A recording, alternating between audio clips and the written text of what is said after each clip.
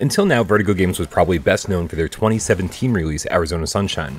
It was a pretty basic zombie shooter and had a ton of rough edges, but no matter how many complaints you could lodge against the game, it was hard to deny that playing through the campaign in two player co op was a total blast. So it's no surprise that Vertigo doubled down on multiplayer this time with their long awaited follow up, After the Fall. And while the four player PvE gameplay will probably satisfy Left 4 Dead fans, at least temporarily, a good number of gamers will likely tire of the gameplay loop and be looking for more content within just days of purchasing it.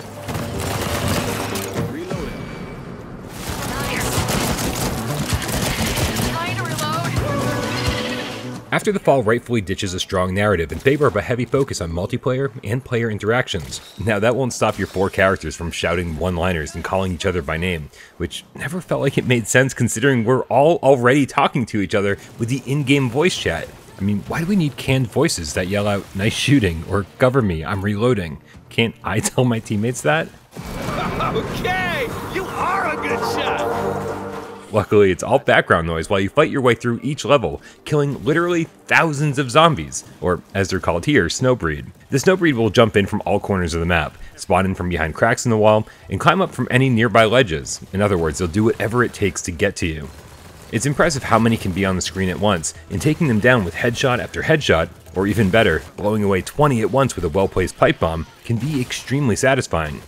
You won't see a ton of enemy variety here. There's only a few different types of Snowbreed, though on harder difficulties, most of them will have ice shields, preventing you from pulling off easy headshots.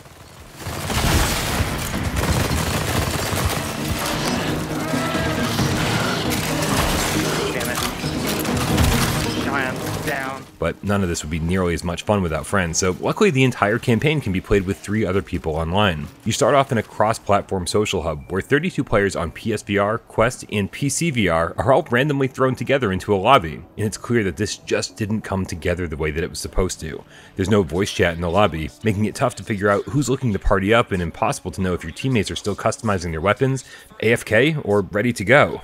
Luckily, if you have friends that you're planning on playing with, you can ignore the lobby system altogether and use the super simple in-game menu to add friends to your party, whether they appear in the social hub or not. But even once you party up, there's still no voice chat here until after you get into a level.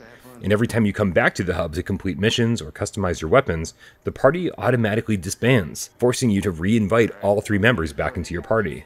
It's needlessly frustrating and doesn't make any sense, especially for longer play sessions. Go. Unlike the somewhat more cohesive campaign of Arizona Sunshine, the world of After the Fall is divided up into five separate zones to teleport into and then play through. There's a little variety here, some take place in apartments, Chinatown, a morgue, or whatever. But when everything is covered in snow, it starts to look a little too similar from place to place, and your memory of each area will start bleeding into the next. That aside, it's a decent looking game with enough detail to satisfy most gamers, a pretty cool flashlight to add to the immersion, and I gotta say that I really enjoyed the 80s inspired visuals and soundtrack. hordes of Snowbreed are lurking around every corner, and from a technical standpoint, I'm really impressed with how many are thrown at you at once. Taking them down is pretty standard for a zombie shooter. You've got six weapons to unlock and take with you, along with pipe bombs, a hand-mounted rocket launcher, and health, all of which you can find strewn throughout levels, or purchasable with in-game currency at safe rooms.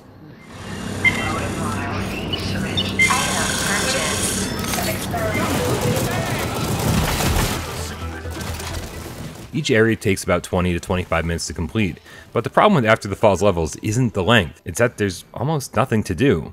Other than surviving, your only real goal is to find these floppy disks that, at the end of each level, will give you a random upgrade for one of your weapons. These can be anything from better sights, grips to reduce recoil, or larger clips to increase ammo capacity. So you'll be playing and replaying each of these areas dozens of times on harder and harder difficulties looking for the discs, in hope that you'll unlock something of interest. And far too often you'll get duplicates, something you already had, meaning you just wasted 25 minutes of your life for nothing. But the real shame here is that if you're forced to replay the same level over and over, why not give me more reasons to play it over and over? A post-apocalyptic environment is ripe for scavenging resources, for crafting items, for buffs, weapons, permanent stat upgrades, anything that would give me a reason to revisit the same places again and again, each time with a different objective. But there's none of that here, making the entire experience feel overtly shallow, so you better have good friends by your side who want to stick with you, because this is one grindy ass grind backside.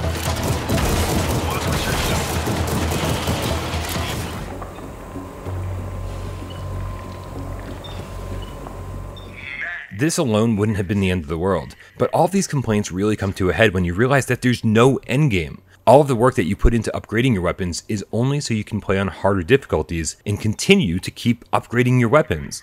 But for what? It would have been great if there was some Breath of the Wild element where right from the start you had access to some massive final boss that would have been impossible to beat without maxing out your weapons or strategizing with your friends. But instead you're left with nothing to do. Even worse, the bonus 4v4 multiplayer mode is just there. There's nothing to write home about. And for a game about zombies, none are included here. How could you not have a PvPvE mode? Plus, even with patch 1.04 installed, After the Fall is still riddled with random bugs, like the inability to progress or spawning into the world without guns, and still suffers from crashes on harder difficulties.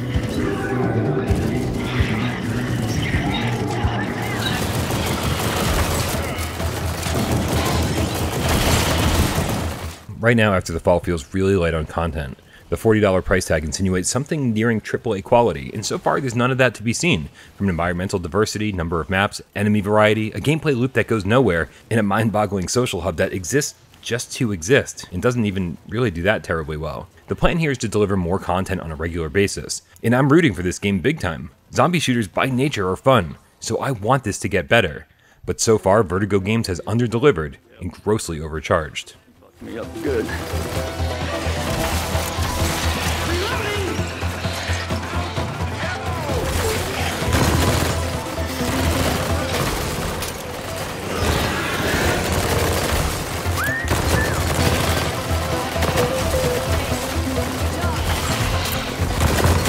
He comes again. I'm gonna toss this last bomb. I got him. Alright. Shit. Got another one. Here we go. Fuck him up.